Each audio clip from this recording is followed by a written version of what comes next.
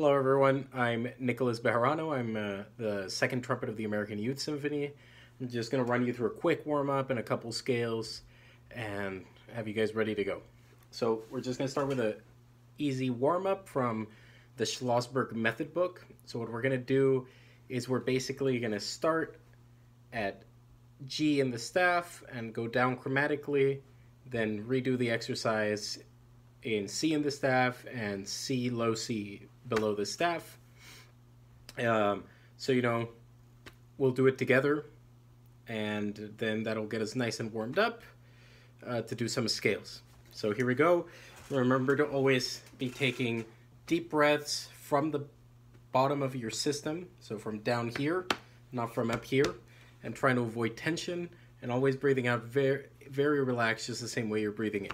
All right, so here we go. We're gonna do two half notes and one whole note for each of these.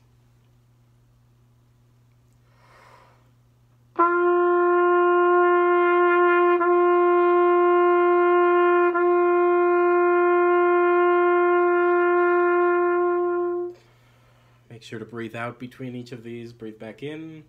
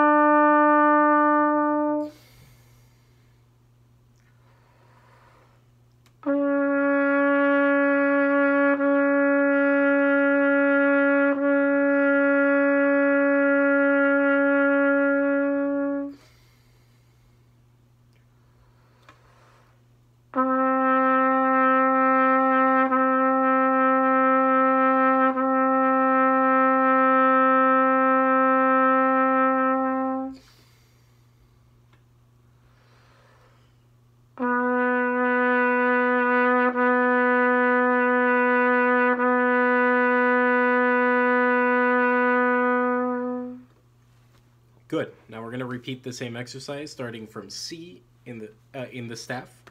Now, it's very important that you try to stay just as relaxed as you just were playing from G down when you start from C. Uh, what we're trying to do is teach our body that between the registers, there's not a lot of difference in the way it should feel or in the way your body should act. Uh, the key to the trumpet is finding the way where everything sounds beautiful, and it only sounds beautiful when you and your body are very relaxed. So here we go from C.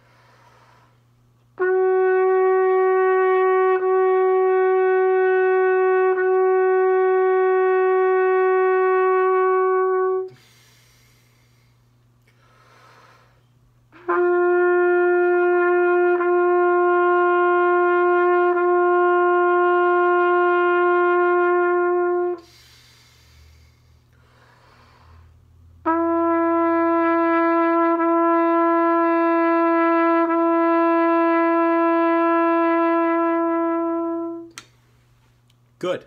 Now, this next set from low C down, we want to really make sure that we are holding those notes up. The lower we go on the trumpet, the more air it needs to support uh, the lower note. So the higher the note, the more we think that it's it's down there somewhere. The the the lower the note, we think it's up there. So it has weight, and we hold it up. So like this.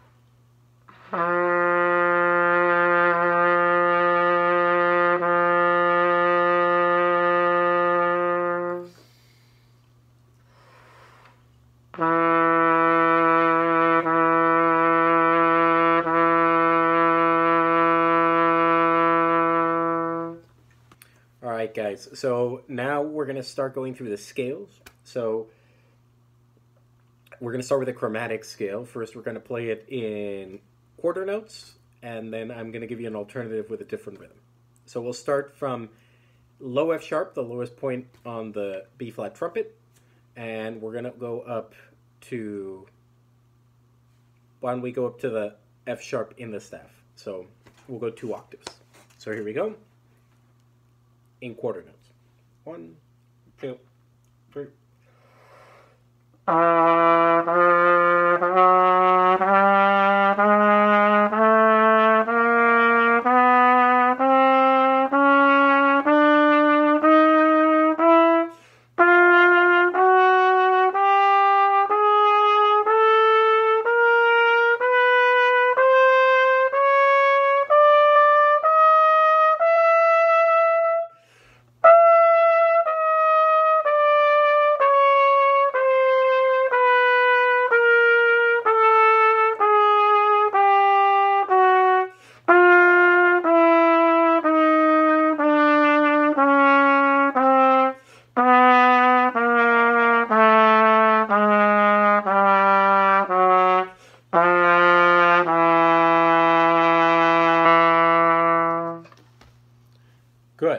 Now, if you want, you can maybe speed it up and let's play it in 16th notes.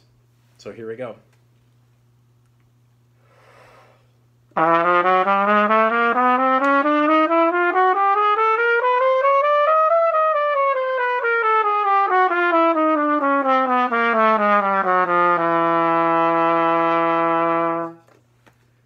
And when you do this, you really want to focus on smoothing everything out so that there's very few gaps between notes. You're kind of just feeling it like one long breath and you know, you're just putting fingers down. So now let's do uh, B flat concert, so C on the trumpet scale. Um, so again in quarter notes.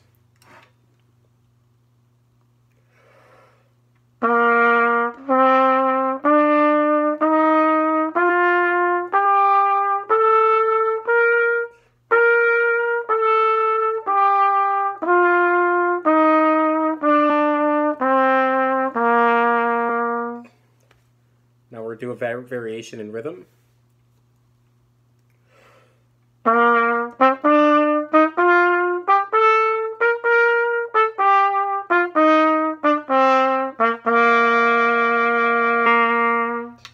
And you can get creative with this. Whatever you want, just as long as you're getting the right positions and you're getting acquainted with all the scales that you need to know. So now let's go to concert F, which is G. That means we have one sharp, F sharp. So here we go. Again in quarter notes.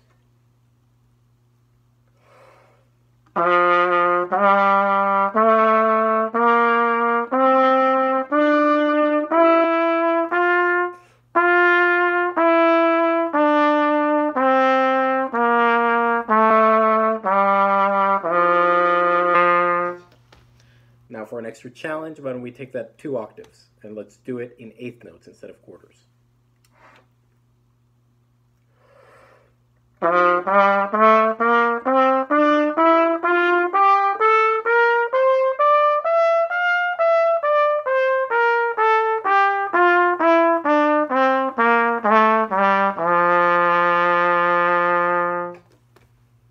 Good. Now we're going to do concert C, which is D for us on B flat trumpet. That means we have two sharps, F sharp and C sharp.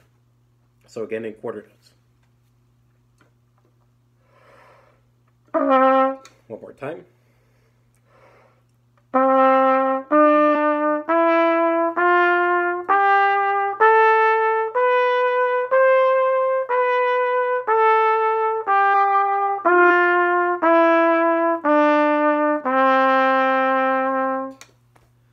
Now we're going to maybe do it in 16th notes so that we get it all out in one go. Oh, sorry. Here we go. 16th note.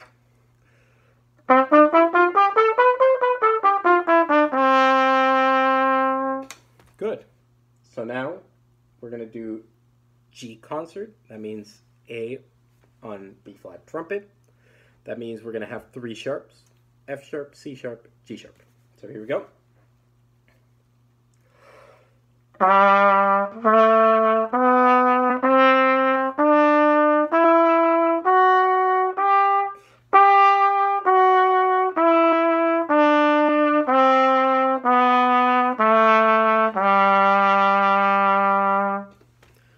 do a similar challenge with this one as we did with G. So we're going to take it up two octaves and do it in 16th notes. Or 8th notes better. Good.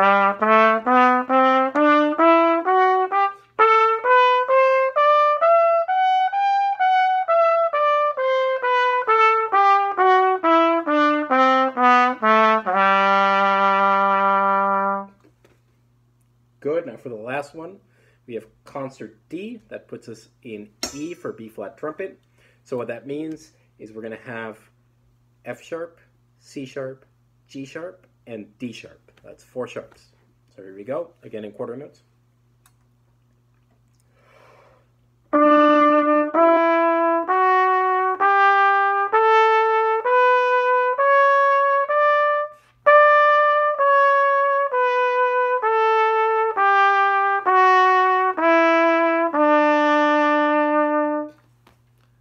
Good.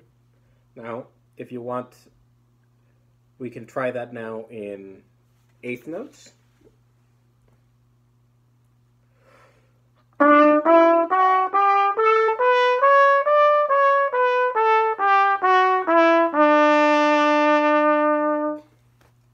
Very good, guys. So that's it for this time. Um, you know, always play with a beautiful sound. Always be listening to the quality of your attacks and the quality of what you're making, even when you're just playing exercises like these. Uh, see you in the next one.